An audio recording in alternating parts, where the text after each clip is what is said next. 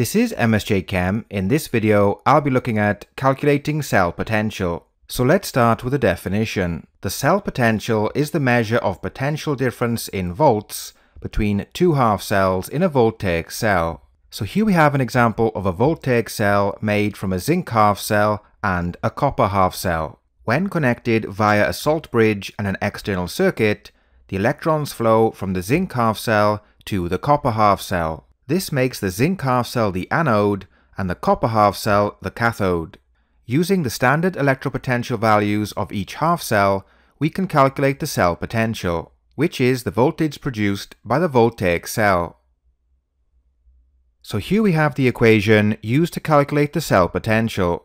The cell potential is equal to the standard electrode potential value of the half cell that undergoes reduction minus the standard electrode potential value of the half cell that undergoes oxidation. Another way of writing this equation is the standard electrode potential value of the cathode minus the standard electrode potential value of the anode. The reason we can use either equation is that reduction takes place at the cathode and oxidation takes place at the anode. Next, we'll have a quick review of standard electrode potentials. In this table, we have standard electrode potentials for a variety of half cells. The first thing we note is that these are written for the reduction reaction.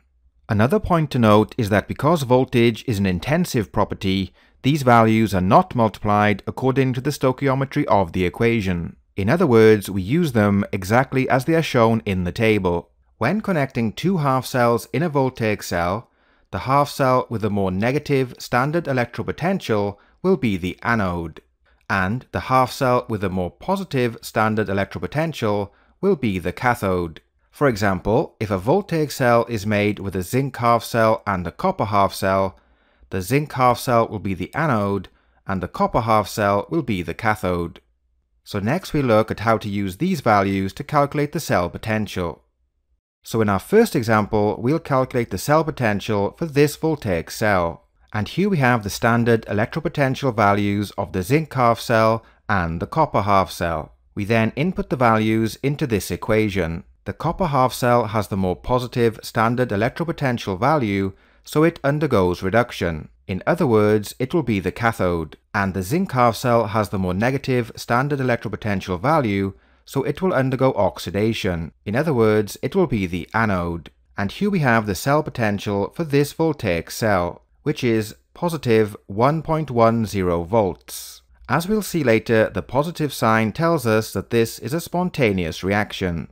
In our next example, we'll calculate the cell potential for a voltaic cell made from a magnesium half cell and an iron half cell. Here we have the standard electrode potential values for both half cells. The magnesium half cell with its more negative standard electrode potential value will be the anode and the iron half cell with its less negative standard electrode potential value will be the cathode.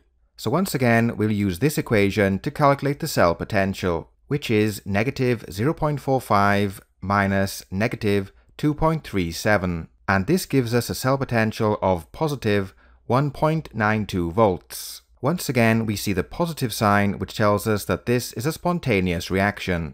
In our next example, we will calculate the cell potential for this reaction. If we look at the oxidation states, we can see that the manganese is being oxidized and the nickel ions are being reduced. So next, we'll use these standard electrode potential values to calculate the cell potential. So from the equation, the nickel ions are undergoing reduction and the manganese is undergoing oxidation. So the cell potential is negative 0.26 minus negative 1.18, and this gives us a cell potential of positive 0.92 volts, which tells us the reaction is spontaneous. So to end the video, we'll look at spontaneity. Here we have the overall equations for the three reactions we've looked at so far. Note that for each reaction, the cell potential is positive. This tells us that each reaction is spontaneous. It's also worth noting that for a voltaic cell, the cell potential will always be positive. This is because voltaic cells involve spontaneous redox reactions.